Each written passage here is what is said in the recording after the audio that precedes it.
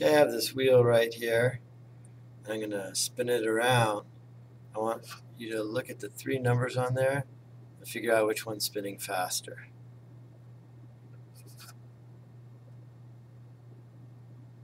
Okay.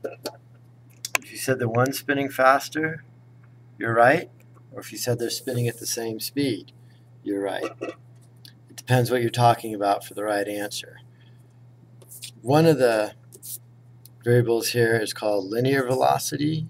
Linear velocity represented with a lowercase v is some sort of distance over time.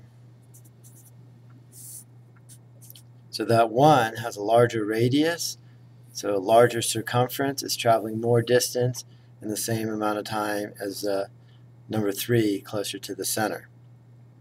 So that's linear velocity. And our other variable is angular velocity. Angular velocity, represented with the lowercase omega, is some sort of rotation over time.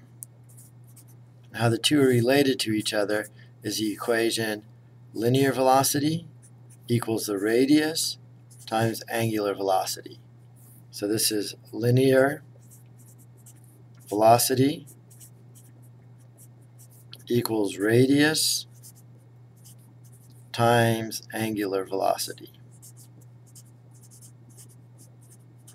But there's one important thing you need to know is this equation only works if angular velocity is in radian measure.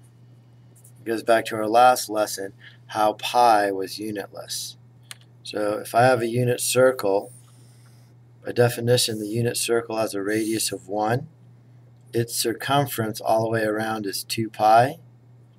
So circumference is 2 pi r. Unit circle, the radius is equal to 1. So the circumference around the circle is 2 pi. So I start here, rotate all the way around, that would be 2 pi. Halfway around would be pi. Quarter would be pi over 2. And 3 pi over 2. I can split it here into pi over 4, 3 pi over 4, 5 pi over 4, 7 pi over 4. The important thing to note here is that this equation, linear velocity equals radius times angular velocity, only works if you're in radian measure. Okay, so that would do a little experiment here. I have a little a top that we built. I have a white sticker on here and I'm going to spin it and let's see if we could count how many times it revolves, goes around in a five second window. Spinning pretty quick. It's kind of hard, especially on that camera, it's hard to tell how many revolutions it does. Okay. I think when I timed it, when it started slowing down a little bit, it spun, spun about 10 revolutions in 5 seconds. So 10 revolutions in 5 seconds. Okay, so this is an angular velocity because it's rotation over time. So I have angular velocity, which is equal to 2 revolutions per second.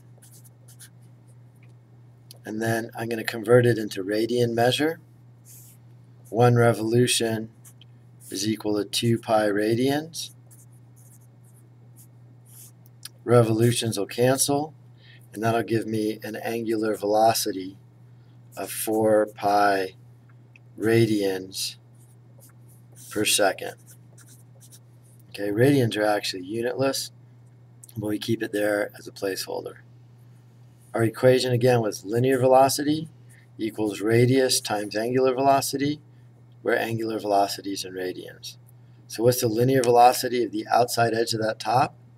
The linear velocity is equal to its radius, 3 quarters of an inch, the distance, times its angular velocity, 4 pi rads per second. 3 quarters times 4 is 3 pi. So 3 quarters times 4 is 3. Still have the pi. Radians drops out because it's really just a placeholder and this is inches per second. The thing spinning fast or not? Well, we could convert that to miles per hour. So let's just approximate 3 pi. So our linear velocity is 3 pi inches per second. I want to go to miles per hour. So I'm going to multiply 12 inches equal 1 foot. I can only multiply by 1 so as not to affect value. Inches cancel.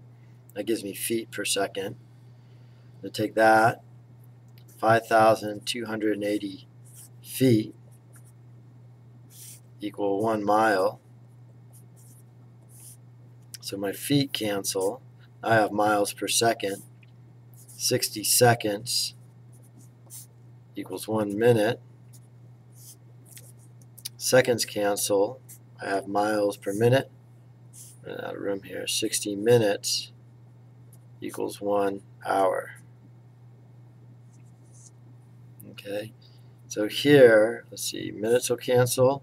Only units in the numerator are miles. Only units in the denominator are hours. So I'm going to take 3 times pi times 60 times 60. So in the numerator I have almost 34,000. Then I'm going to divide that by 12 times 5280 and it works out to be 0.5. So the linear velocity, the outside of that top, is 0.5. And the key is, is that you keep track of all your units. So it's 0.5 miles per hour. So outside of that top is traveling at about 0.5 miles per hour. Again, the equation linear velocity equals radius times angular velocity.